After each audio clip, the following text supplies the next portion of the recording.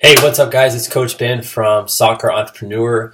In today's video, I'm going to be talking about the type of equipment that you need if you're going to be a soccer coach or if you're going to have your own private training academy, whatever it is you want to do. I'm going to talk about the best ways to save money. This way, when you get started, you're not in the hole like how I see a lot of people uh, when they first start.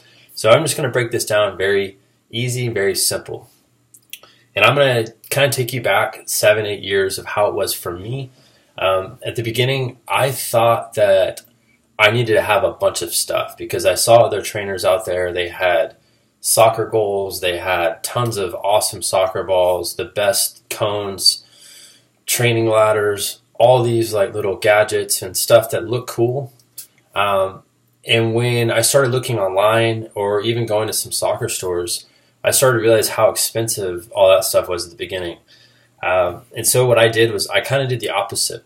And that's generally what I do when I see anyone doing, or a lot of people doing one thing, I always do the opposite. Um, and so I th- started to think of how can I do this the smartest possible way with literally spending either the least amount of money or spending no money at all. And the way that I figured it out was very simple. Um, and I just went to a local soccer store and I told them that I wanted to create a partnership with them. This way, any player who comes through my academy, I can recommend uh, that soccer store for them.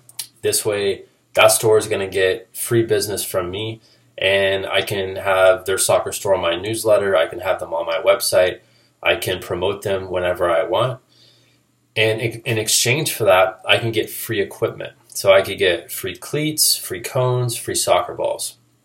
And those are the three essential things that you need. Maybe you don't have to have cleats um, if you're coaching a team, but I like to have cleats if I'm training players. But I wanted to have those three things. I didn't need to have a ton of soccer goals and a wall to set up to do for free kicks. Um, I didn't need any of that. And I highly recommend if you want to start a private soccer training business, then you want to do everything at the beginning as cheap as possible.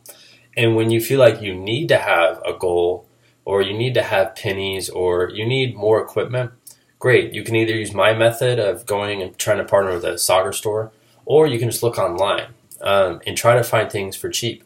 I like going to Amazon or soccer.com, uh, especially when they have promotions like during Christmas. You can find things cheaper there than anywhere else. Um, but at the beginning, you don't need to have a bunch of stuff. And I made another video about this, about how to save money at the beginning when you start your academy. But I felt like I needed to make something more specific about the type of equipment you need. And in reality, I want you to think about kids they don't need to have a bunch of stuff. Stuff is just kind of distractions. So the more stuff you have at your session, it, it might make your session look cool, but that's not going to really help the player develop and get better. If you're just doing footwork drills and different types of passing drills and even shooting drills, you don't have to have a goal. Um, you don't have to have a ton of cones. Um, and you don't even have to have soccer balls because you could just require all the players who you train to bring their own soccer balls. Um, and this is this is where you kind of have to think outside of the box when you start.